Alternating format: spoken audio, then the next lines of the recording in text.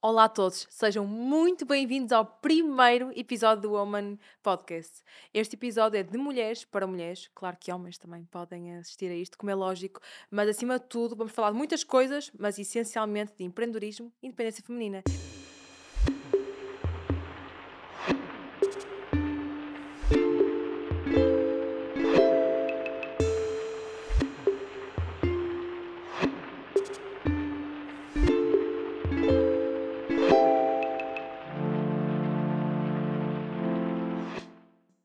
E hoje temos uma convidada muito especial, a nossa primeira convidada, uma pessoa que eu admiro, que eu adoro, uma pessoa extraordinária. Eu vou fazer aqui uma breve introdução, uh, mas vocês vão saber logo quem é, como é lógico. Mas pronto, quero mesmo introduzi-la porque ela merece tudo isto e muito mais. Portanto, nasceu em Santarém, tem apenas 20 anos, é uma das caras mais conhecidas de Portugal e uma das caras da nossa marca também. Portanto, só por aqui já estão a perceber. Conta com mais de um milhão e meio de seguidores no Instagram, é modelo.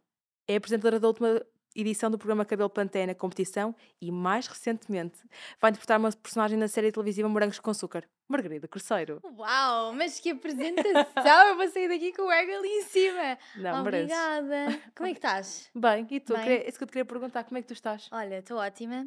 Muito obrigada pelo convite. Primeira, prim- primeira vez num podcast. É verdade. Olha É uma verdade. coisa, Magui ou Margarida? Posso acertar por Magui?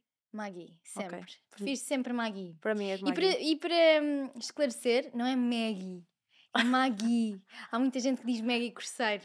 E, e eu não dou pelo nome, por isso Maggie. Perfeito, Magui para mim.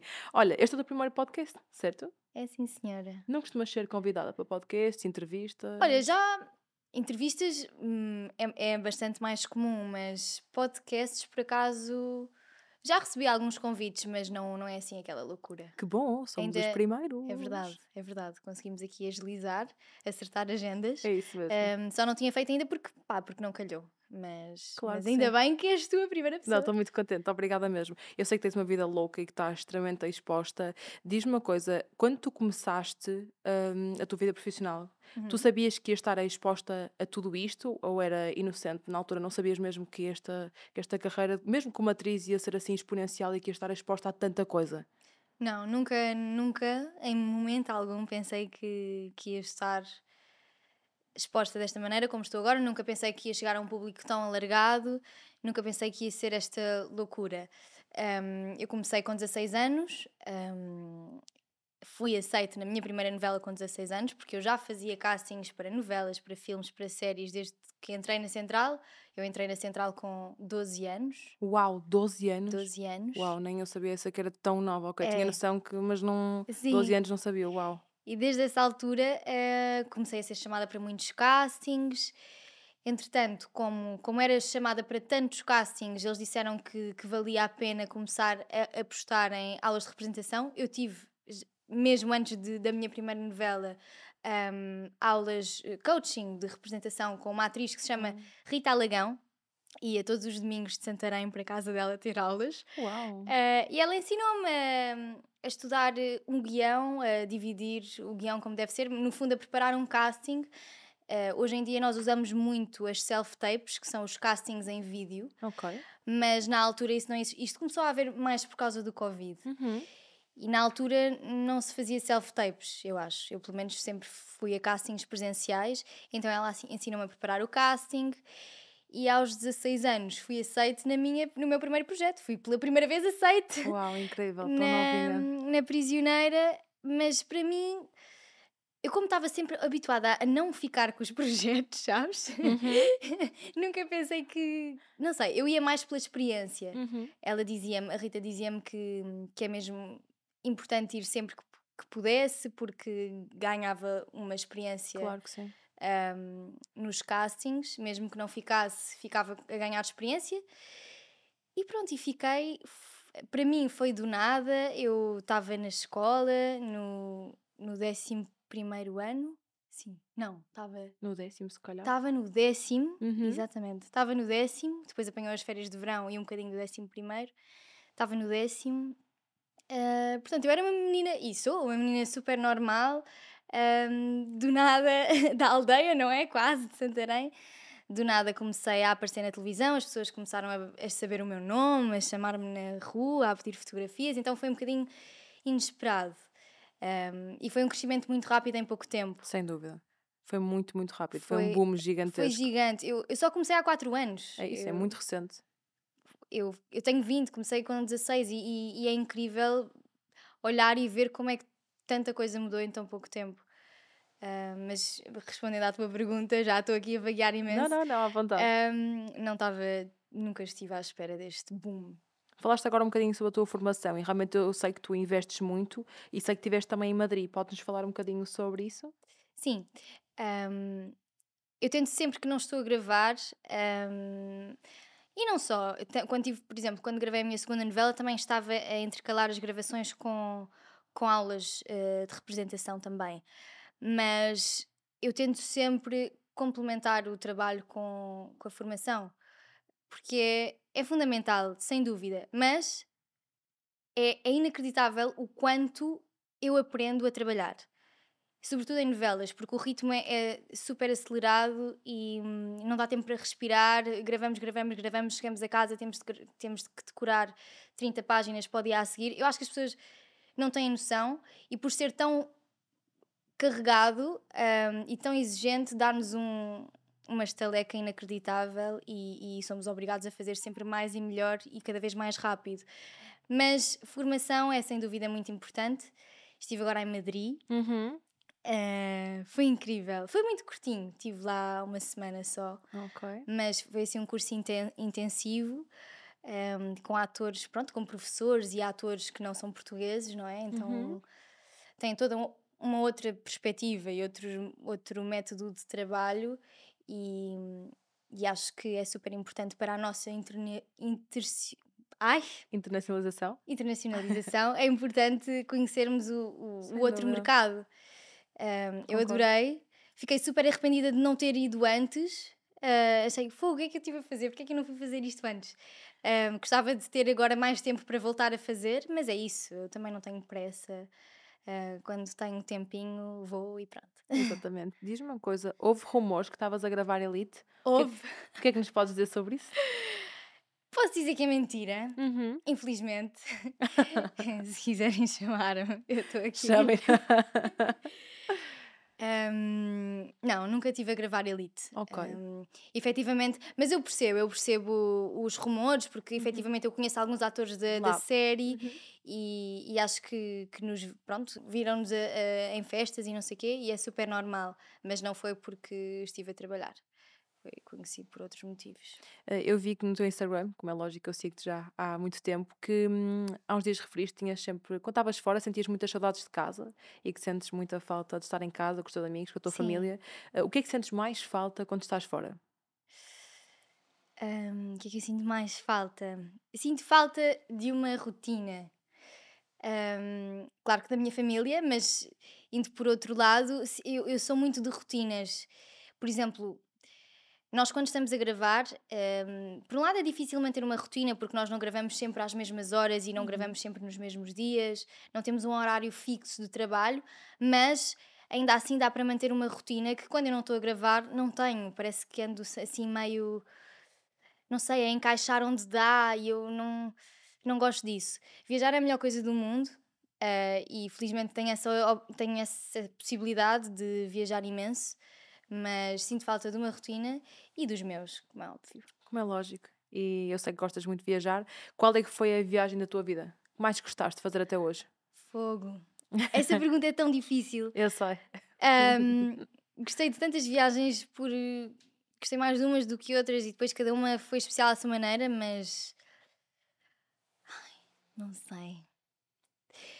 Eu fiz uma viagem com. Não sei se foi a viagem da minha vida, mas foi.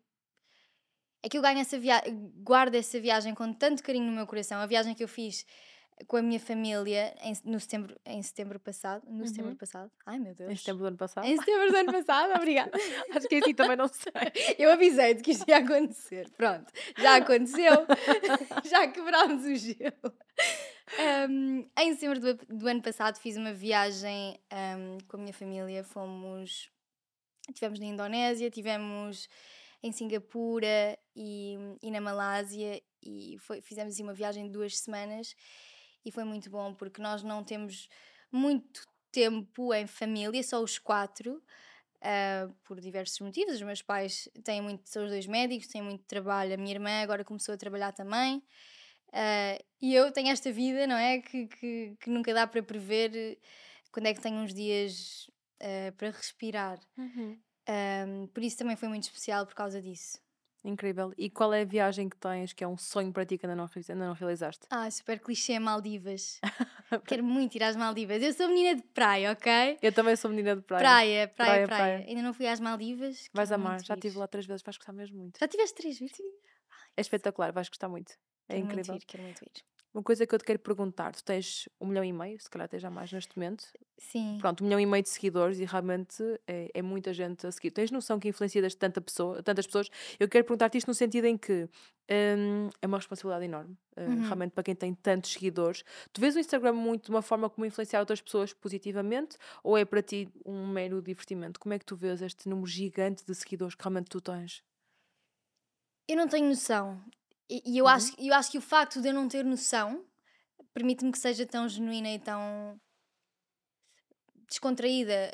Um, eu não consigo imaginar o que é um milhão e meio, o que é, uma, por exemplo, uma plateia de um milhão e meio de pessoas à minha frente. Isso é uma monstruosidade. Acho que ninguém tem. Acho que ninguém eu não, não faço ideia o que é isso, mas realmente é o número de pessoas que assiste uh, ao que eu digo, ao que eu faço, ao que eu.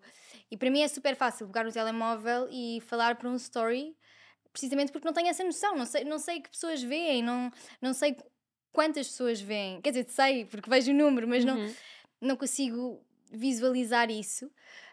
Um, claro que tento sempre transmitir o maior positivismo possível. Também, de vez em quando, não muito, mas às vezes falo de coisas que, que me chateiam e me aborrecem, mas eu acho que é mais um escape, não sei. Um, eu gosto muito de comunicar, no fundo, e adoro tirar fotografias. Um, desde pequenina, o meu pai andava sempre com a máquina fotográfica atrás de mim e da minha irmã. Minha irmã odiava, eu amava. Uh, fazia imensas caretas e sempre adorei tirar fotografias. Um, por isso, o Instagram para mim é, não sei, é super fácil. É bom não sentir essa pressão também. Não, não sinto, não sinto. Devia sentir às vezes, mas não sinto. Sim e não, não sei, é um bocadinho controverso, mas é bom também não ter essa pressão gigante, e é mesmo isso que eu te quero perguntar a seguir, porque tu sentes essa pressão de ter sucesso, porque eu acho que a sociedade hoje em dia mete-nos muito, mete-nos a todos nós muito essa pressão de temos de ter sucesso, temos de ter uma vida resolvida nos 30 anos, temos de casar, temos de ter filhos, e muito mais tu, eu estou a falar de toda a gente que sente essa pressão, Sim. mas muito mais tu que tens um sucesso atrás de outro sucesso, sente essa pressão de teres que ter sucesso constantemente, Sim. porque estás sempre em ascensão. Muitos olhos postos em cima. Uhum. Felizmente não, zero eu sou, aliás, eu acho que sou demasiado descontraída para o que devia ser, mas eu acho que se pusermos, por exemplo, limites de datas, um, tenho que conseguir isto até este ano. Eu acho que a partir daí começa a correr, começa a correr mal.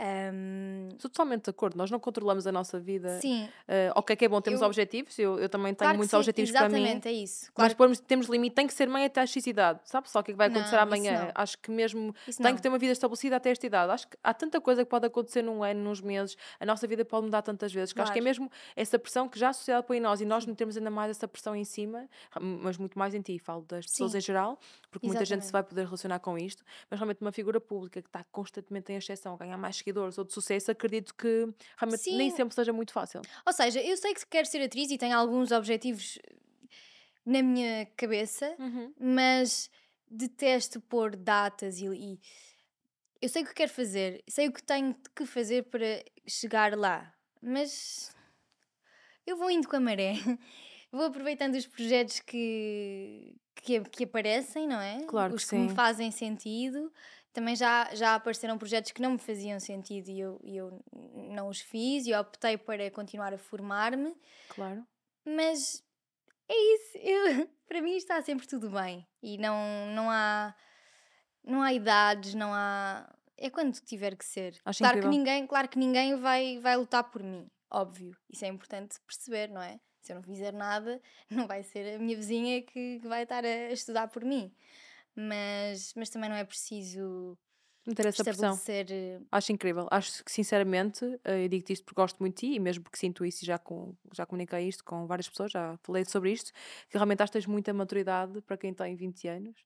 Eh, não, a sério, já passaste por muita coisa, és uma figura pública gigantesca em Portugal e acho que realmente tens, uma, tens um mindset, és muito tranquila. É muito boa, não, a sério. Achas? Acho, acho, acho genuinamente que sim. Diz-me uma coisa, eu sei que és muito ativa nas redes sociais, no Twitter também. Uhum. Eh, és tu que geres 100% das tuas redes sociais ou tens alguém que te. Ou parte sempre tudo de ti, pelo menos? Parte sempre tudo de mim. Uhum. Tenho hum, uma equipa por trás que me vai encaminhando, que, Ok. que é a equipa da, Central, do Digital, que são incansáveis. Estou sempre em contacto com eles o dia todo, a toda a hora, no nosso grupo do WhatsApp. Mas, mas sou sempre eu que publico o que quero, quando quero, hum, quando quero. Claro que há Uhum. campanhas em que temos que cumprir claro, que datas, cumprir datas. mas, mas só aceito os trabalhos que eu quero, hum, recuso o que eu quero, sou eu que publico tudo, ou seja, mais ninguém tem acesso à minha conta. hum, e pronto, é isso. Tu usas muitas redes sociais para te pronunciar acerca de certas polémicas e eu no outro Uhum. dia, um, noutra entrevista, tu disseste uma frase como eu vou fazer é sempre aquilo que eu quiser. 2022, eh, a imprensa não foi realmente muito fácil contigo. Eh, como é que tu lidas eh, com tudo isto? Hum, lá está, lido com a imprensa como lido com, com toda a exposição que tenho há quatro anos. hum, Esta tua frase de faço o que eu quiser vem muito eh, Ah. de tudo aquilo que aconteceu nos últimos meses ou sempre foi a tua forma de estar? eh, Não, nem sempre foi a minha forma de estar. Ok. Um, mas eu comecei a achar que isso não era correto. É tão triste uma miúda de 17, 18, 19 anos ter que estar a pensar no que pode fazer ou não. E- e Eu ter de, de pensar se, se, se é boa ideia ir a uma discoteca com os meus amigos é tão. Ou seja, não faz sentido nenhum. Sem dúvida. Não, é tão triste. Eu tenho que fazer o que me apetece. Eu tenho, eu tenho 20 anos. Eu posso É ir à noite, posso ir almoçar com as minhas amigas, posso ir. Posso fazer o que eu quiser. Mesmo. Um, e, e- e foi um- uma ideia na minha cabeça que comecei a moldar há pouco tempo. Se calhar daqui a 10 anos vou pensar, ia, não devia ter dito isto ou não devia ter feito aquilo. Mas neste momento é assim que eu, que eu, que eu vejo as coisas. Faço o que eu quiser, não devo nada a ninguém por isso. Era isso que eu te queria perguntar. Tu sentes necessidade de justificar eh, quando saem constantemente notícias sobre o teu namoro, sobre os teus amigos, sobre as tuas saídas à noite? Tu sentes essa necessidade de ter Não. que te justificar? Quando é, quando é assuntos pessoais, então, não mesmo. Quando é trabalho, é um bocadinho diferente. Uhum. Agora, quando é a minha vida, quando falam dos meus amigos, ou do meu namorado, ou da minha família, não. Porquê, que- porquê que eu tenho que, que me justificar de quê, não é? É uma coisa tão pessoal. Já aconteceu, porque começou a tomar proporções ridículas, eh, ameaças de morte e não sei o quê. As pessoas são loucas. São loucas. Calma. Algumas são loucas. Não Ahm, todas, mas há muitas que Há são. malta hum, louca, sim. Ahm, mas não, não, não, sim, não sinto de todo que me tenha que, que justificar. Da minha vida pessoal, não mesmo, era o que faltava. Concordo absolutamente. Ainda bem que tens eh, essa postura incrível. E vou ler um tweet teu que realmente foi absolutamente astronómica, que saiu no dia 3 de janeiro deste ano, em que disseste: Vivemos num mundo em que trair é ser mulher que sai à noite com amigos. Uau, em maiúsculo, sexo masculino, que se diverte, dança, ri, conversa, etc. Espero continuar a trair na, a, minha, a minha vida inteira. E realmente isto foi muito polémico. Esta frase estava em todo lado. Como é que tu lidas com isto? E também, que eu sei que és muito próxima da tua família, eh, Uhum. eu também o sou. Como é que os teus pais lidam com isto? Os meus pais, hum, eles não falam muito sobre essas coisas comigo. E Se calhar, se sofrem ou se, se ficam preocupados, não transmitem, não Não transmitem preocupar? essa preocupação porque veem que eu não estou nem aí. Mas eu percebo perfeitamente. Para a minha família deve ser muito mais chato do que é para mim. Eu já estou super habituada hum, que falem de mim, que digam que eu neste dia estou mal vestida, ou que sou isto, ou que sou aquilo. Dá-me igual. Agora, eu imaginar pôr-me no lugar da minha irmã, por exemplo, e ver a imprensa toda a falar coisas de mim, ou... deve ser muito mais chato para a minha família, de facto. Só que eles já estão a perceber que eu, que eu não ligo a essas coisas e Sim, que isso não consegues afeta nem um bocadinho. isso. O que não foi sempre assim. Ahm, na- quando, quando eu comecei era chato, havia dias em que ficava muito triste e havia coisas que me deitavam mesmo abaixo, porque escreviam coisas e escrevem coisas tão absurdas. Claro que a imprensa tem um papel fundamental, até para mim, e, e, ou seja, eu preciso da imprensa, a imprensa precisa de mim Sim. no fundo, e eu respeito muito o trabalho deles. Mas há linhas que, que algumas revistas passam que eu não entendo. Mesmo. Pensar em pessoas com idade para ser meus pais ou meus av- avós a escreverem certas coisas de uma miúda, não é? Isso, isso Literalmente de uma miúda, porque tu tens 20 anos e estas notícias já vêm de há 4 anos atrás. É pensar um bocado se eu gostaria que fizessem isto. Há comentários de todas as idades, nem é só de, pessoas da nossa idade. E assim, sim, é realmente uma loucura pensar que podia ser a minha filha, a minha neta, sei lá. sim. Um familiar meu a estar ali, como é que as pessoas conseguem fazer comentários tão, de, tão odiosos como esse? É isso que eu te quero perguntar. Como é que se dá a volta psicologicamente? Porque Agora eu sei que lidas muito melhor com isso, de uma forma Sim. excelente, e já eu admiro muito. a- não, a sério, a forma como tu lidas, eu não conheço uma pessoa. Ainda conheço algumas figuras públicas que nunca conheci uma pessoa, ainda por cima tão nova, que lidasse tão bem. Mas no início, como é que se lida psicologicamente? Como é que se dá a volta? Com terapia? Fazes terapia? Não se dá. Não, por acaso não faço, nunca Uhum. fiz, mas tenho amigos, figuras públicas, que dizem: pá, não sabes o que estás a perder. Eu se calhar não sei. Eu não sou uma figura pública e digo que não sabes o que estás a perder. Pois, toda a gente me diz isso. Ajuda mesmo muito em todos os aspectos da tua vida. Toda a gente me diz isso, toda a gente me diz isso. Se calhar um dia, não sei. Hum, para já não sinto essa necessidade. Se calhar não tem que haver uma necessidade, mesmo que alguém super hum, bem resolvido, se tiver terapia, terapia claro que, que melhora muitos aspectos da nossa vida, não sei. hum, tenho que experimentar, se calhar. Tens, Mas experimenta. não, não faço. Hum, já me perdi. Não te Qual preocupes. Não, mas respondeste à minha pergunta, não te preocupes. E realmente eu acho mesmo que ser mulher é um desafio gigantesco em todos os aspectos e mais alguns, Sim. e na tua posição ainda maior. Diz-me uma coisa, como é que tu te vês como mulher? Como é que tu te descreves como mulher? Como mulher, olha, eu acho que sou livre. Uhum. Eh, por acaso tenho uma tatuagem sou, relativamente a isso. Eu acho que sou livre e desde o ano passado percebi eu sou livre, eu faço o que eu quiser e, e não há nada que me possa rotular porque eu sou o que sou e Isso. faço o que eu quiser. Pronto, no fundo faço o que eu quiser. Eu acho que sou livre, sou descontraída, eh, não sou muito estressada. No dia em que eu estiver muito estressada é porque está tudo a correr mal. Há uma casar. Está uma casa a arder. Ahm, e felizmente já sou independente. incrível, isso é incrível mesmo. Diz-me uma coisa, quais é que são as tuas. Eu sei que não tens uma rotina, mas quando estás cá, como é que é a tua rotina? E se as tens quando estás, por exemplo, agora em gravações, quais, Sim. como é que é a tua vida, no teu dia a dia? No dia a dia, olha, acordo. Uhum. Infelizmente tenho que acordar cedo para gravar. Não sou uma morning person, adorava. Ahm, custa muito acordar cedo. Saio de casa. Não costumo, por acaso não costumo tomar o pequeno almoço em casa, costumo tomar Uhum. no sítio onde estou a gravar. Depois depende, há dias em que gravo o dia todo, há dias que consigo sair à hora do almoço, tal- às vezes consigo ir almoçar com as minhas amigas, ou há dias que me apetece simplesmente vir para casa e venho para aqui com o meu gatinho. Hoje ele não está cá ainda, tenho de ir buscá-lo. Ahm, mas é muito, é muito isto. E rotinas de skincare, cabelo, tens Ah. esse tipo de rotinas também? Eu é que não fui específica, mas tens esse tipo de rotinas também? Sim, claro. Uhum. Sobretudo, então agora com este cabelo descolorado, tenho mesmo que ter. Já disse que adoro, eu já disse que adoro, já sabes. Gosto, já disse que sim. Estou-me a habituar ainda. Ahm, com o cabelo tenho que ter sempre muito cuidado, sobretudo por causa, porque com o meu trabalho estamos sempre a pôr eh, fontes de calor, temos eh, Uhum. secadores, pranchas, tudo e mais alguma coisa. Temos que ter mesmo muito cuidado, não só lá, com os protetores de calor e tudo mais, como em casa. Eu faço muitas máscaras, ainda por cima o meu cabelo é seco. Uhum. É seco, foi levado com descolorações, por isso desgraça. Tenho mesmo que ter cuidado.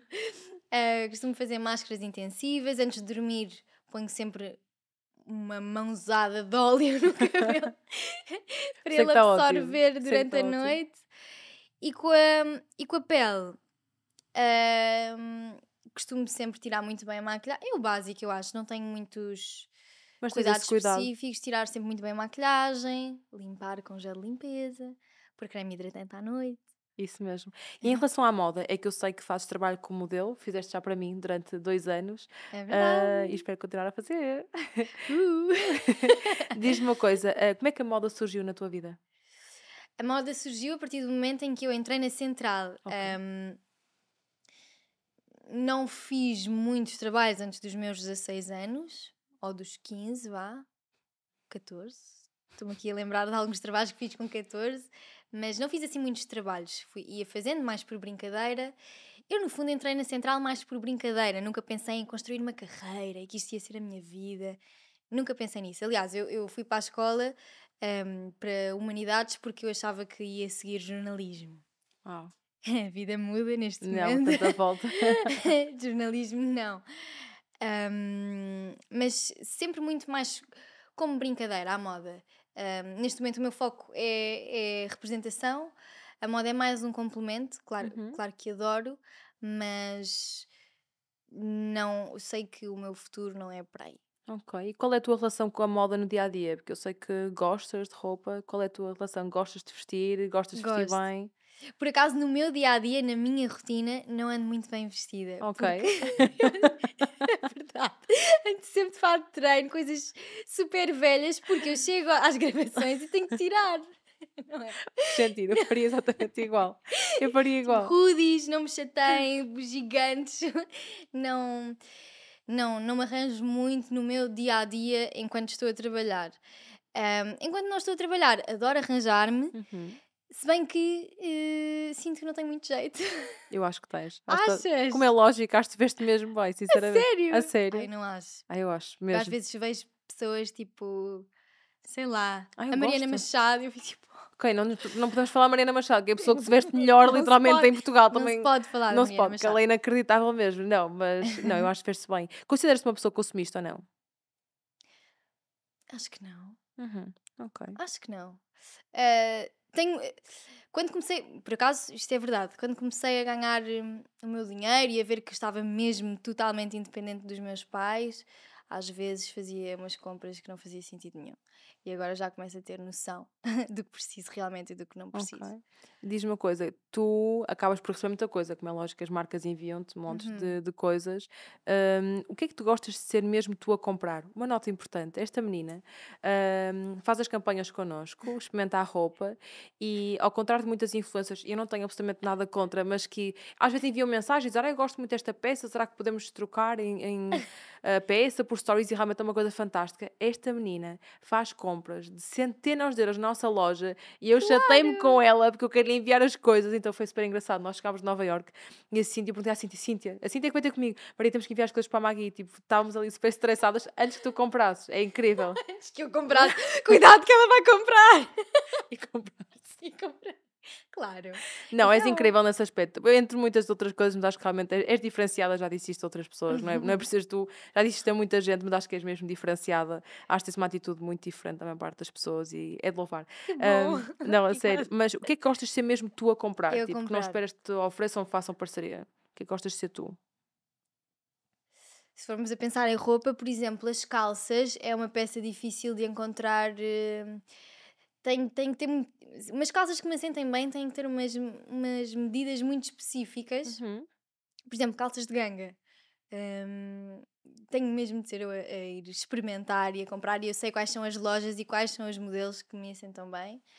Hum, mas depois, sei lá, carteiras, tenho mesmo de ser eu. Sou muito esquisita nas carteiras. Claro, também sou, percebo perfeitamente. Tu tens um estilo próprio ou vestes tipo um bocadinho de tudo? Qual é o teu estilo? Sabes O meu definir mais ou estilo menos? básico, máximo. Estilo básica. básico, estilo seca. Não és nada, achas que é nada.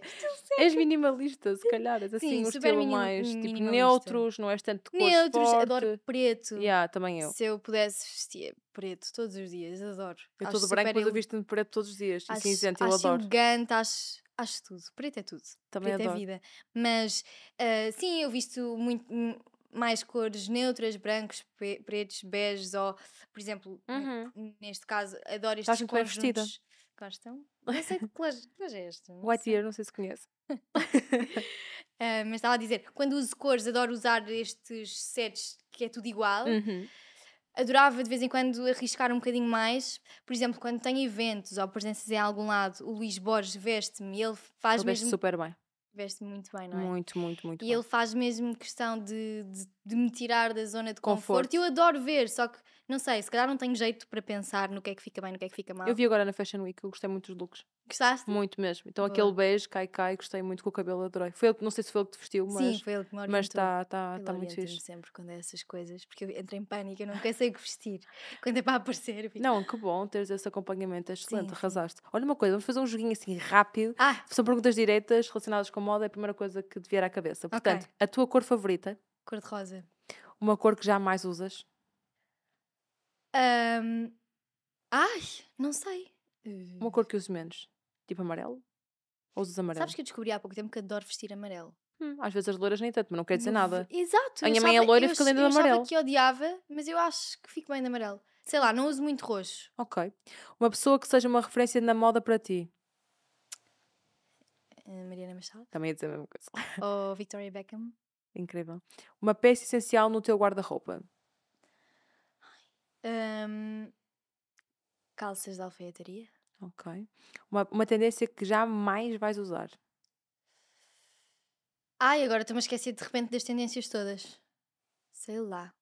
Mas há imensas. Ahm, Que jamais usarias, assim, não sei. Ai. Mas, pá, não sei. Usarias quase tudo, não? Eu também não tenho uma coisa assim que jamais usasse também.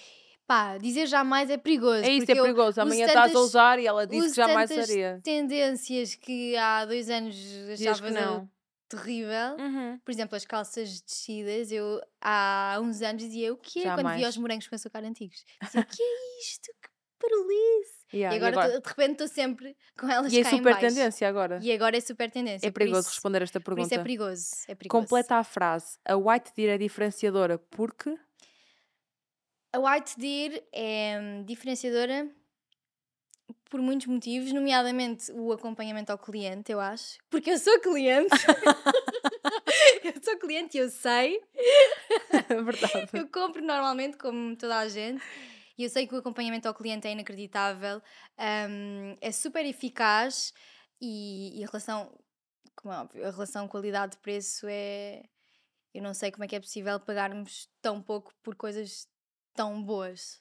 Que bom teres referido isso, tanto a qualidade de preço, que acho que é a mesma coisa que nos diferencia, mas também muito a parte do apoio ao cliente, concordo sem dúvida. Claro que sou suspeita, né? Que a marca é minha, mas realmente concordo absolutamente, porque o É apoio ao mesmo, cliente, é imagina, eu- eu vendo roupa, hum, eu vou ter que me diferenciar de alguma forma, porque eu vendo roupa, mas a Zara vende roupa e milhares de marcas online vendem roupa, E é portanto, difícil fazer a é diferença. isso. É difícil fazer a diferença. E se não for pela roupa, porque por mais que tenha uma qualidade de preços incrível, também tem que ser muito pela parte do apoio ao cliente. Eu foco-me nisso e tenho duas pessoas o tempo inteiro só para o apoio ao cliente, porque tem, todas as respostas têm que ser dadas, seja por chamada, por Instagram, por e-mail, por WhatsApp, tudo tem que ser respondido e de forma personalizada. Portanto, realmente não é aquele. Sim, sim, forma. Lá está. Personalizada, é essa a diferença. Personalizada, é isso. É que vocês respondem a cada pessoa, não é ao cliente que. Sem que- dúvida. que A pessoa tem que Não se são- apresentar, Uhum. a pessoa tem que estar a falar com o cliente, literalmente a tratá-lo pelo nome, a dizer, tem que se apresentar, dizer quem é que é a pessoa. Sim. Tem que ser um acompanhamento muito próximo, não pode ser aquela, aquela robotizada. eh, acho que muito, não gosto Sim, muito sim. dessas respostas automáticas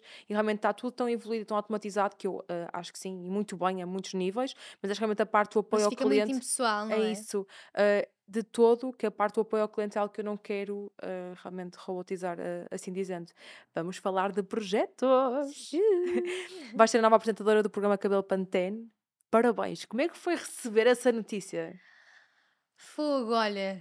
ah, queres que seja mesmo sincera? Por favor. Eu estava a fazer uma limpeza facial. Eu nunca disse isto. Estava, portanto, eu não conseguia ver nada.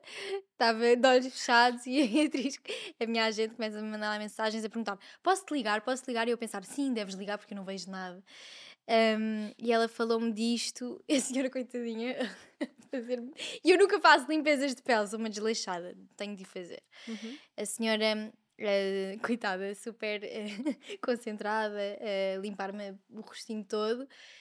E eu, de repente, fico super animada lá no- na marquesa, tipo, ah, claro, não sei o quê. Ahm, foi inesperado, não estava nada à espera mesmo, ah, porque não é a minha área e, e, por mil motivos. Mas, por um lado, acho que este formato, se é para experimentar a apresentação, este formato é o mais indicado, porque tem a ver com o meu trabalho. Este concurso tem as coisas que eu faço no meu trabalho um, e eu sei o que é estar no lugar dos concorrentes, sei o que é sentir este nervosinho, sei o que é ter este sonho. eh, por isso não estava à espera, mas aceitei logo. Foi a tua estreia como apresentadora. Sim. E como é que está a ser esta transição de, de atriz para agora a parte de, de ser apresentadora em si? Tem há uma certa transição, deduzo. Sim.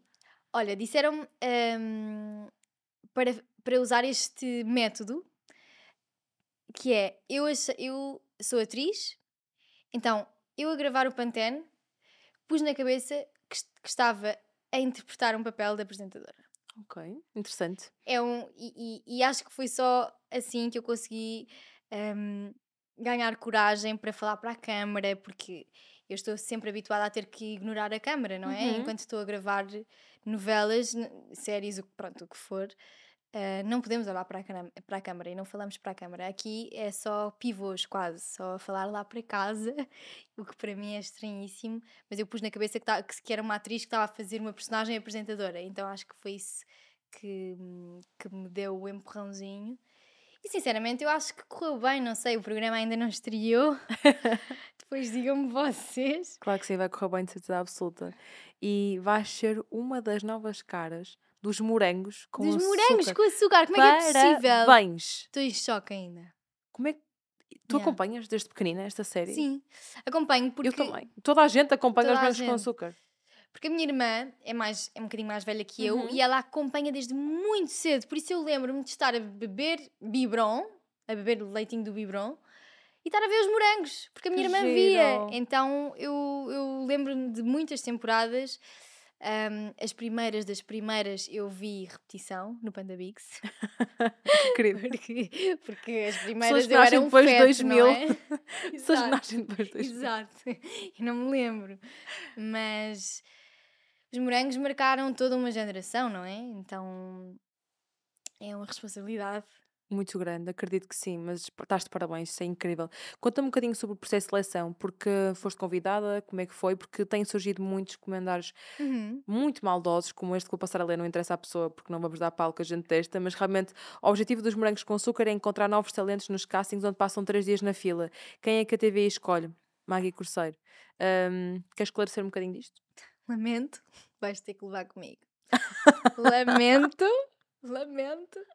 Ahm, Como é que foi o processo de, de É assim, seleção? eu, eu quando, quando hum, soube deste possível da possibilidade de trabalhar nos morangos, Uhum. já foi há muito tempo, ah, foi para em dezembro, não Ah, uau. sei, janeiro, já não sei. E eu na altura, para dar sorte, lembro-me perfeitamente, pus uma foto no Instagram, um post, a comer um morango só. Ai, que giro. Eu pensei, isto vai dar sorte. Tenho literalmente uma foto super estúpida, sem sentido nenhum, só a comer um morango. E a minha gente a comentar risos. Acho que não vi essa foto aleatória de tu Pois, um se calhar viste, mas. Depois que vi, mas nem sequer a cena. Como é lógico que eu ia pensar que ia comer morango. Claro. Ah, vai fazer os morangos com açúcar, claro. Ninguém, não, ninguém, não, ninguém pensaria isso. Mas foste convidada, como é que isso foi? Sim, fui, fui convidada, tive algumas conversas com, com a produção. eh, achavam que, que eu fazia sentido para a personagem. E eu também acho que, fa que faço sentido para a personagem que vou fazer, que neste momento ainda não posso adiantar nada. Era isso que eu perguntasse, podias falar um bocadinho de nada da tua personagem, só assim umas luzes, O que será que eu posso? Eu não faço ideia. umas luzinhas, assim, uma coisinha. Hum. Hum. Ai, não faço ideia se posso. Ok, Mas este cabelo é de personagem. ok. Já é uma coisa, eu por acaso não Tive sabia, eu até te perguntei há pintar o bocadinho. cabelo para a personagem. Ok, Porque ela é. É assim. ok, Pronto. fixe. Faço assim, pode ser que apanhem, pode ser que não apanhem. Como é que foi receber esta notícia? Como é que tu reagiste quando, quando soubeste que ias participar? Como é que tu ficaste? Ahm, fiquei. Quando soube mesmo que ficou fechado, estava no Havaí com a Kika, Cerqueira Gomes, fizemos Ok. uma festa. Nós estávamos, estávamos na rua e eu aos berros. e Também ninguém me conhecia lá. eu aos Olha berros. que difícil. Em Nova Iorque reconheceram, nós estávamos meio Times Square, nós estávamos mesmo tranquilos, Yeah. achar, não, aqui ninguém conhece, estamos tranquilos. Yeah, E havia pessoas conheceram. a tirarem fotografias como aqui em Nova Iorque. Ok. Yeah. Em Paris no também. Fizeram- não aconteceu. Em Paris também, mas em Nova Iorque era difícil e conseguiste. Yeah. Comecei aos berros no meio da rua, a Kika super contente. Não sei, é uma nostalgia e agora nos ensaios às vezes põem as músicas dos morangos e, e aí é que me cai a ficha. Eu fico a pensar, fogo, nós vamos fazer isto. Uau, que cena. É incrível, é mesmo um orgulho tremendo, imagino que sim. Para terminar, tenho mais duas perguntas para ti. Há algo que as pessoas não saibam sobre ti? Ahm, não sei. Deixa-me pensar. Pensa, tens tempo. Tenho imenso tempo. Imenso. Ahm, acho que não sabem uma coisa que. Acho que não sabem que eu sou igual a elas, no fundo. Há Hum. muita gente que, que acha. Não sei, não sei o que é que acham, no fundo. Eu acho que. hum, devem pensar que figuras públicas são extraterrestres ou podem falar o que querem e dizer-lhes o que querem e fazer o que querem com elas. E não podem, nós somos pessoas iguais a vocês e também chegamos a casa ah, com, roupa, com roupa para ir lavar e, e montes de louça na pia. Ahm, não sei, acho que se esquecem que somos humanos e eu sou humana. Se calhar há pessoas que não que se esquecem desse pormenorzinho. Resposta incrível. Diz-me uma coisa para terminar mesmo. Quem é a verdadeira Margarida Corseiro? Isso é tipo o que dizem os teus olhos Yeah. para acabar. Para acabar. Quem é a Margarida Corseiro? A Margarida Corseiro é uma menina muito feliz, que teve uma infância incrível e tem um suporte familiar inacreditável, ahm, que teve que crescer muito rápido por vários motivos. Ahm, sinceramente, orgulho, orgulho-me da pessoa que me estou a tornar. Acho que estou no caminho certo, mas lá está, também é uma pessoa que, que não se estressa muito, que vai pouco a pouco ahm, com a maré e até agora tem corrido bem. Sou uma pessoa feliz.